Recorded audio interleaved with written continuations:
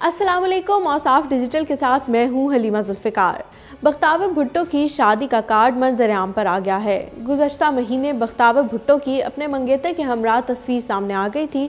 आसिफ अली जरदारी की साहबजादी और महमूद चौधरी की मंगनी बिलावल हाउस कराची में अंजाम पाई थी। तो सलाम जान से कबल आप सबसे गुजारिश है कि हमारा चैनल और साफ़ डिजिटल सब्सक्राइब कर लें और साथ मौजूद बेल के आइकन को क्लिक कर लें ताकि हमारी ताज़ा तरीन वीडियोज़ आप तक बर वक्त पहुँचती रहें और डेली और साफ़ को इंस्टाग्राम पर फॉलो करने के लिए नीचे डिस्क्रिप्शन में दिए गए लिंक पर क्लिक कर लें।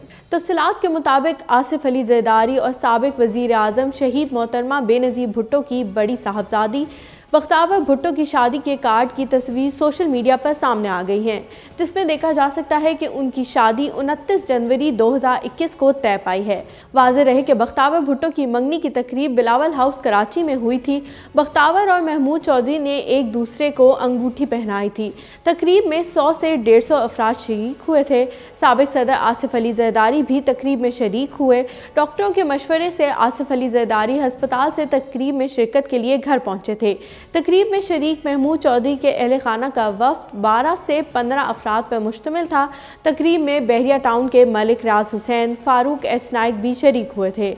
इस मौके पर सैनिटर शेरी रहमान, अनवर मजीद समेत दीगर शख्सियात भी बिलावल हाउस में मौजूद थी। जबकि बिलावल भुट्टो जरदारी बजरिया ऑनलाइन मंगनी की तकरीब में शरीक हुए थे क्योंकि उनका टेस्ट करोना पॉजिटिव आया था।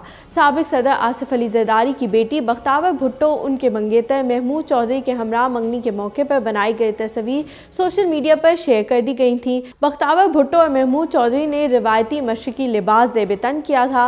आसिफ अली जरदारी तकरीब में शिरकत के लिए हस्पताल से अपने घर पहुँचे थे, जबकि कोरोना से मुतासर बिलावल भुट्टो जरदारी वीडियो लिंक से तकरीब में शरीक हुए थे। मंगनी की तकरीब में मेहमानों की तोज़ा पाकिस्तानी और अंग्रेज़ी खानों दोनों से की गई थी। मेन्यू में मछली, चिकन ब्रोस्ट, बिरयानी और कोफ्ते भी शामिल थे।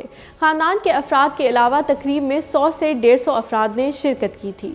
इसके साथ ही अगर आपको हमारी ये वीडियो पसंद आई है तो इसे लाइक करें और दूसरों के साथ भी शेयर करें। कमेंट सेक्शन में हमें अपनी राय से ज़रूर आगाह करें।